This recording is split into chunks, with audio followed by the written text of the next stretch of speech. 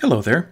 In this video, I'll illustrate how to draw an AON or Activity on Node project network for a series of eight activities and then identify the paths as well as the critical path.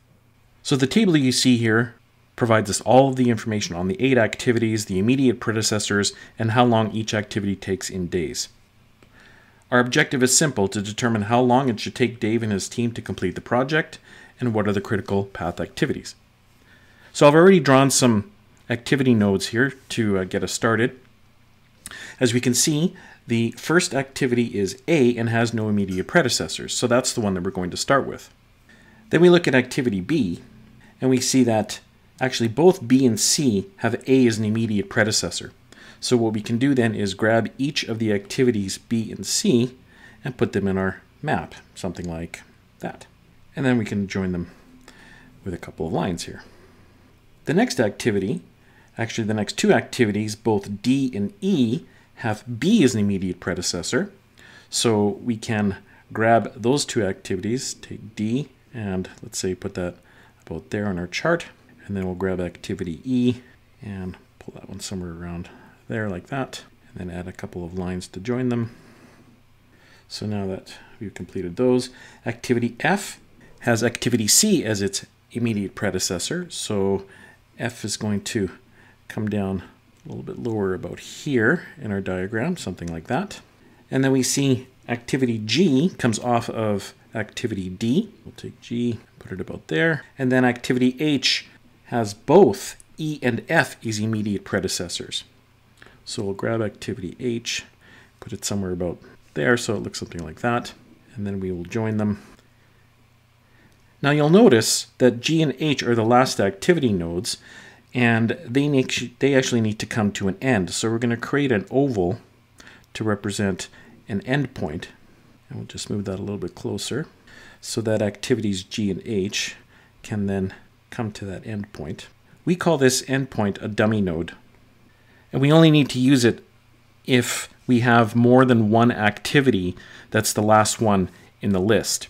Now, because we've added an end node, then it's also good practice to, at the same time, add a begin node. So that's what our AON diagram should look like. I usually draw the diagrams first based on the predecessor relationships and then put in the uh, activity times. So we will now put the activity times A takes three days, B takes four, C takes six days, D takes also six days, E is four, F is four, G is six, and H is eight.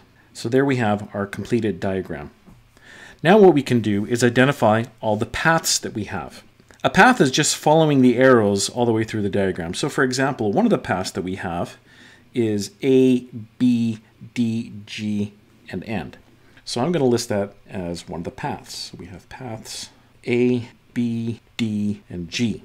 And what we can also do at the same time is determine how long or how many days it takes if we went along that path. So A is three days, B is four, D is six, plus six, that's a total of 19 days. So path A, B, D, G is 19 days. We have another path that's A, B, E, H, and A, B, EH. And if we add all those days up together, 3, 4, 4, and 8, that will equal also 19 days. Well, you can see that there's still one path left. A, C, F, H, end is the last path.